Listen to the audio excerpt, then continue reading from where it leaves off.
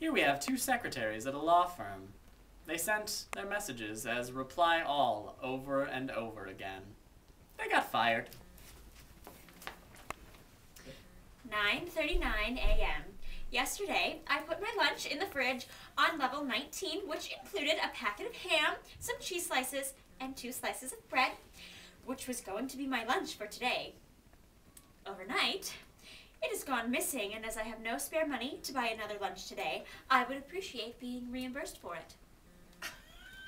955. Katrina, there are items fitting your exact description in the level 20 fridge. Are you sure you didn't place your lunch in the wrong fridge yesterday? 1006. Melinda, probably best you don't hit reply to all next time. Would be annoying to the lawyers. The kitchen was not doing dinner last night, so obviously someone has helped themselves to my lunch. Really sweet of you to investigate for me. 1014. Katrina, since I used to be afloat and I'm still on the level 19 email list, I couldn't help but receive your ridiculous email. Lucky me.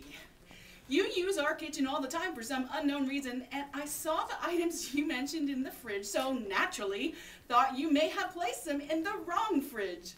Thanks. I know I'm sweet, and I only had your best interests at heart. Now, as you would say, bye. 1015. I'm not blonde! 1016. Being a brunette doesn't mean you're smart, though. 1017. I definitely wouldn't trade places with you for the world! 1019. I wouldn't trade places with you for the world. I don't want your figure.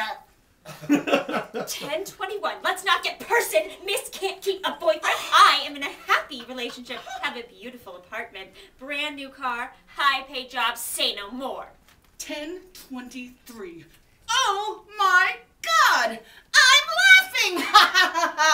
Happy relationship! You have been with so many guys. Beautiful apartment? So what? Brand new car? Me too. High paid job? more. Say plenty more. I have five guys at the moment.